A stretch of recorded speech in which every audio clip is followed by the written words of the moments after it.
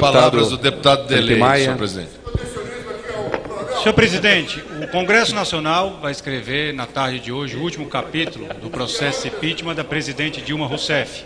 Um processo legítimo, presidido pelo presidente do Superior Tribunal Federal, do Supremo Tribunal Federal, pelo presidente do Congresso Nacional, Renan Calheiros, e na presença da julgada, da presidente Dilma Rousseff, que teve toda a possibilidade de, ao longo de muitas horas, responder aos senadores e se defender. A presidente Dilma Rousseff foi eleita com o apoio de 53 senadores. Hoje tenta alcançar o apoio de 28. Não atingirá esses 28 senadores, por uma razão clara.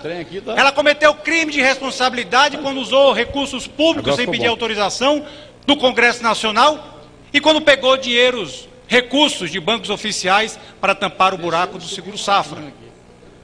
E nós encontramos, no dia 31 de agosto de 2016, uma data emblemática e importante para o futuro da nação, no momento crítico da economia brasileira, onde temos 12 milhões de empregados fruto dos descontroles do governo do PT e que chegamos hoje. Recebemos hoje a notícia de que o PIB do segundo trimestre reduziu em 0,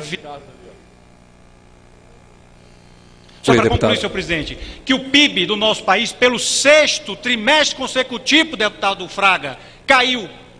Nossa economia está derretendo, o nosso povo está sendo desempregado. Chega, está na hora de passar para um novo Brasil. O Brasil que os brasileiros apostaram que a presidente Dilma iria construir. E ela apenas destruiu o nosso país. Portanto, impeachment já. Vamos em frente para um Brasil melhor.